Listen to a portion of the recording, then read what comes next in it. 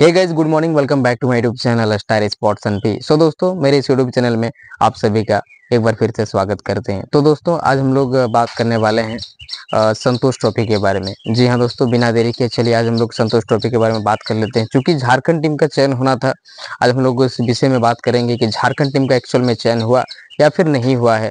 आज हम लोग पूरा डिटेल्स जानेंगे इस वीडियो में तो चलिए वीडियो के आगे तक बने रहे। चैनल पर अगर आप नए हैं तो चैनल को सब्सक्राइब करके बेल आइकन को प्रेस कर लें, ताकि इसी तरह से स्पोर्ट से जुड़ी खबर आप तक जल्दी से मिल सके। तो चलिए दोस्तों, आज की वीडियो को शुरू कर लेते हैं। तो चलिए, संतोष ट्रॉफी की अगर बात करें दोस्तों काफ़ी नज़दीक है बिल्कुल। सोलह नवंबर से झारखंड टीम का मुकाबला है, और अभी तक जो है चयन नहीं हुआ है।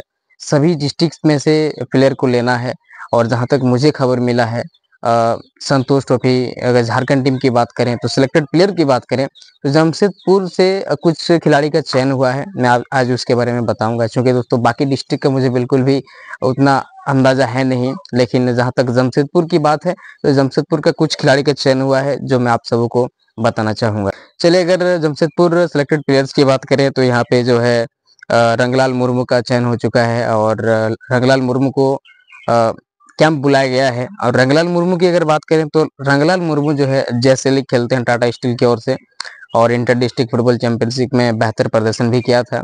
उनको कैंप बुलाया गया है। साथ में अगर हम लोग बात करें दोस्तों बासित हंसदा को भी कैंप बुलाया गया है। और बासित हंसदा की बात करें तो बासित हंसदा भी टाटा स्टील के प्लेयर हैं जो कि जैसे लीग में अच्छा खेलते हैं। साथ में इंटर डिस्ट्रिक्ट फुटबॉल चैंपियनशिप की बात करें तो वहाँ पर भी एक अच्छा प्रदर्शन किया है और उस प्रदर्शन के माध्यम से उनको भी कैंप बुलाया गया है। अगर बात करें दोस्तों ठाकुरदास किस्कू का तो भी एक अच्छा प्लेयर है, जो कि इंटर डिस्ट्रिक्ट में हम लोग देखे हैं। अच्छा प्रदर्शन किया है और अच्छा प्रदर्शन के बावजूद उनको भी कैंप बुलाया गया है संतोष ट्रॉफी के लिए, झारखंड टीम के लिए। और वहीं अगर बात करें तो संजय मुर्मू का भी यहाँ पे कैंप बुलाया गया है। और संजय मुर्मू की अगर ज़िक्र करें तो संजय मुर्मू भी टाटा स्टील के प्लेयर हैं, जैसे लीग खेलते हैं। और इंटर डिस्ट्रिक्ट में भी उनका अच्छा प्रदर्शन था और इसके माध्यम से जो है उनको भी कैंप बुलाया गया है। साथ में अगर रंजित मार्डी की बात करें तो निश्चित रूप से Ranjit Mardi inter district football championship में एक अच्छा खेल को कायम रखा है और इसके माध्यम से उनको भी कैंप बुलाया गया है। रंजित मार्डी की बात करें तो रंजित मार्डी टाटा मोटर्स के प्लेयर हैं।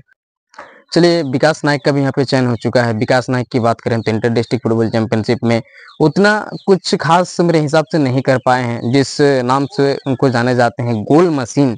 तो गोल मशीन जो है, इस बार जो है इंटर डिस्ट्रिक्ट फुटबॉल चैंपियनशिप में उतना गोल हमें देखने को नहीं मिला है।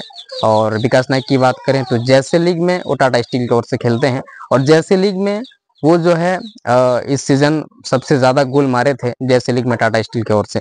वही दोस्तों बात करें, जयपाल सिंह सिरका का भी यहाँ पे चयन हो चुका है और उनको भी कैंप बुलाया गया है। जयपाल सिंह सिरका की बात करें तो इंटर डिस्ट्रिक्ट फुटबॉल चैंपियनशिप में प्लेयर ऑफ़ द टूर्नामेंट का भी खिताब जीता है क्योंकि इंटर डिस्ट्रिक्ट फुटबॉल चैंपियनशिप में कुल मिलाकर पाँच गोल मारे हैं। एक मैच में तीन गोल यानी कि हैट्रिक मारे थे और एक मैच में जो है दो गोल मारे थे। इस हिसाब से जो है, उनको भी संतोष ट्रॉफी के लिए, झारखंड टीम के लिए उनको कैंप बुलाया गया है। तो इस प्रकार दोस्तों ये जो सभी प्लेयर्स हैं, ये सभी प्लेयर्स को कैंप बुलाया गया है संतोष ट्रॉफी के लिए, झारखंड टीम के लिए। देखते हैं आगे क्या होता है। और साथ में दोस्तों मेरे पास रांची का भी कुछ अपडेट है। रांची से भी कुछ खिलाड़ी को बुलाया गया है कैंप में। अगर खिलाड़ियों की बात करें तो खिलाड़ी जो यहाँ पे जो टप्पो अश्विन प्रति, उपेंद्र, हजाम और संदीप उराव, विदेश तिर्की, रोहित तिग्गा मंजीत करमाली सुमित कुजूरवल ललित कच्छप।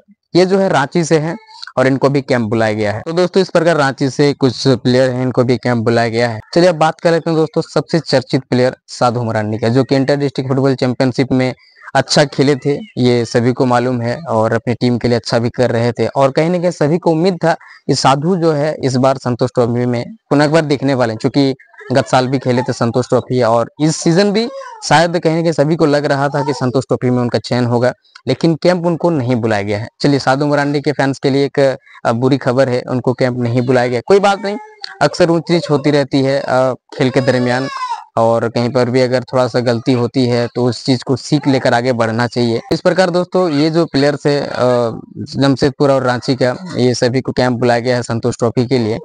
आशा है ये सभी इन्फॉर्मेशन आप सबको अच्छा लगा है। अगर अच्छा लगा दोस्तों तो लाइक कमेंट और साथ में सब्सक्राइब ज़रूर करिएगा। तब तक मिलते हैं दोस्तों, एक नए वीडियो एक नए इन्फॉर्मेशन के साथ। तब तक के लिए जय हिंद दोस्तों।